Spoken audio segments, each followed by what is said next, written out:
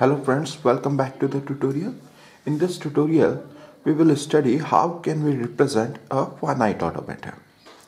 We can represent a finite automata graphically also.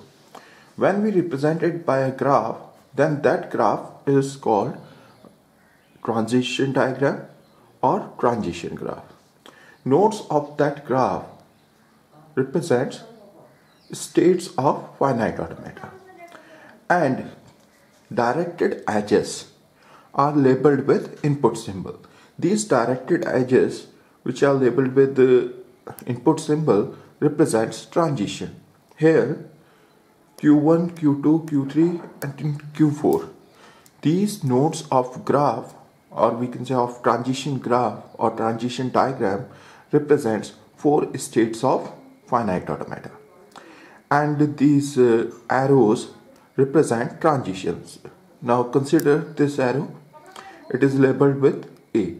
Now it is from Q1 to Q2. It means when the machine is in state Q1 and it reads a symbol A, it will jump to state Q2. In a graphical form. Now we have to represent a finite automata graphically. Initial state is uh, represented like this. Suppose Q1 is initial state, then we will put an arrow before it. Alright, here Q1 is initial state. Now second thing is transitions. Transitions are represented by arrows. Suppose there is a transition delta Q1 A equals to Q2. It means machine on from state Q1 on reading an input symbol A will transits to Q2. Graphically we can represent it by an arrow.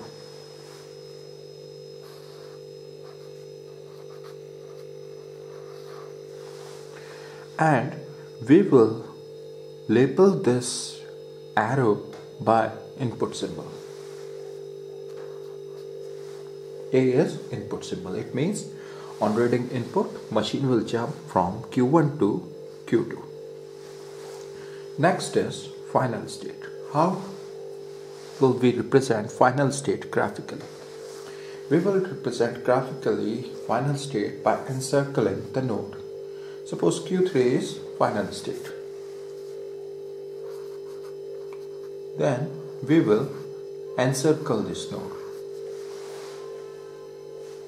So here Q3 is final state.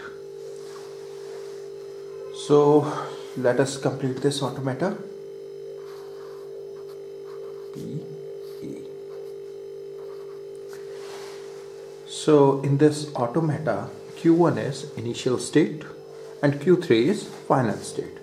As uh, I have already told you Final states can be one or more than one. In the initial state, we will put an arrow before it, and to the final state, we will encircle it. Now, this graph can be represented mathematically, as I have told in previous video. That uh, this automata be m. m equals to q sigma delta q naught uh, sorry q1 because here the initial state is q1 and f where q is the set of all states. It means q equals to q1 q2 and q3 sigma is set of input symbols. So what are the input symbols are here? A and b there are only two input symbols. And f is a set of final states. And here there is only one final state q3 so and uh, here we have mentioned that q1 is initial state. Now we have to describe its transitions also. How can we describe it? To describe it we will use transition function See?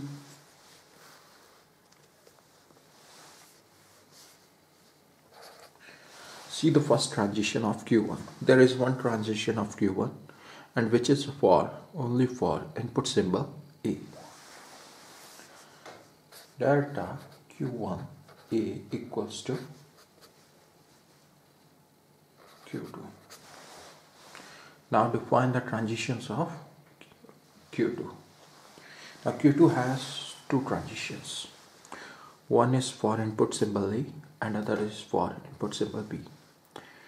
What it does on reading an input symbol A, it jumps to final state Q3 and on reading an input symbol B, it remains in state Q2.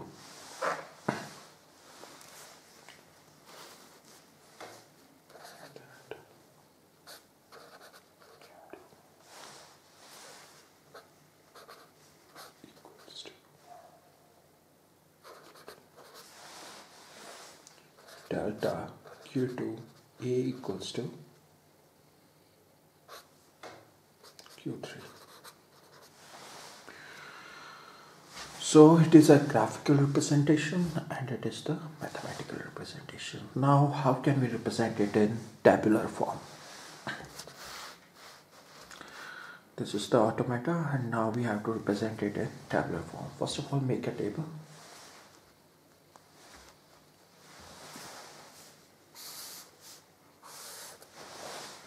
right. In first column describe only the states. Label this column with state. Right. And uh, inside the table mark the columns with input symbols. There are only two input symbols so there will be only two columns. Columns of this tables are labeled with input symbols. Here label this it with state because here we write only the states. Now the rows, rows are labeled by state. Q1, Q2 and Q3. Q3 is the final state so encircle it.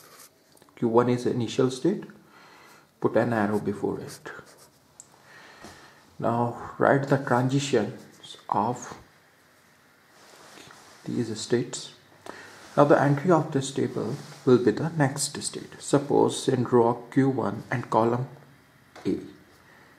In this entry, we will write the transition of Q1 on reading an input symbol A. On reading an input symbol A, machine jumps from Q1 uh, when it is in state Q1 on reading input symbol A, it jumps to Q2. So here in this entry, we will write Q2. It means on from state Q1 when it reads A, it will jump to Q2. There is no transition for input symbol B. Similarly, write uh, the transition of Q2. When it reads input symbol A, it jumps to Q3. When it reads input symbol B, it remains in state Q2. There are no transitions for final state Q3. So we can represent a finite automata in three ways. First is in graphical form, second mathematical, this is the graphical, mathematical and tabular form. Thank you very much.